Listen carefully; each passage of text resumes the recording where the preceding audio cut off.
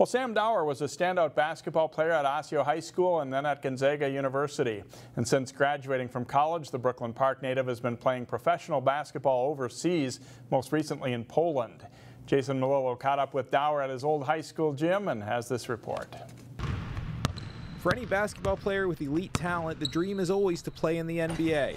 Sam Dower isn't there yet, but he's making the most of his time playing pro ball overseas. I mean, it's been great. You know, it's a dream come true. You know, obviously I'm playing, I get to travel the world to play the game that I love, so that's great.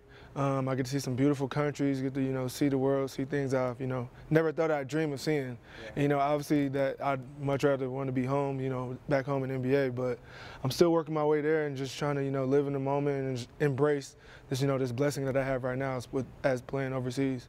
Dower's game is well suited to the style of European professional basketball, which is different from the NBA and the American college game. The European game is more of a team game. Like in the in Europe, you won't see like if you see a guy average 20 points, that's crazy. Like top guys like average like 15, 16, 17 points. Not like the NBA where there's like 30 to 35 points for the top guys. Not not a lot of more. It's a lot more isolation in NBA than it is in overseas, and it's a lot more. Uh, three like everybody shoots threes like the center shoots threes like they have plays for them to shoot threes. That's where i excel and i'm a shooting big so i do i, I thrive in that i thrive in that league and um, it's, just, it's just great to be you know part of something different. Dower started his pro career in france and latvia before landing with mks dąbrowa górnicza in the polish pro league last season and he'll return to that club this fall.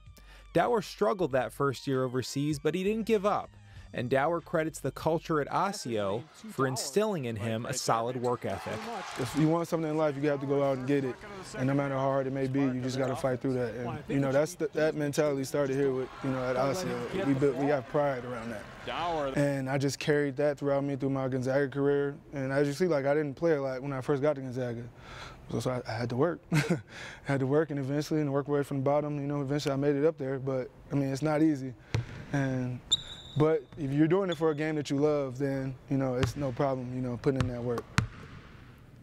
Dower said it has been a challenge adjusting to different cultures and languages, but his biggest struggle was learning to cook for himself. he worked hard at that too and says now he's pretty handy in the kitchen. So great guy and good to see him back in town. Maybe he was getting some tips on cooking overseas. You never know. Thanks a lot, Jay.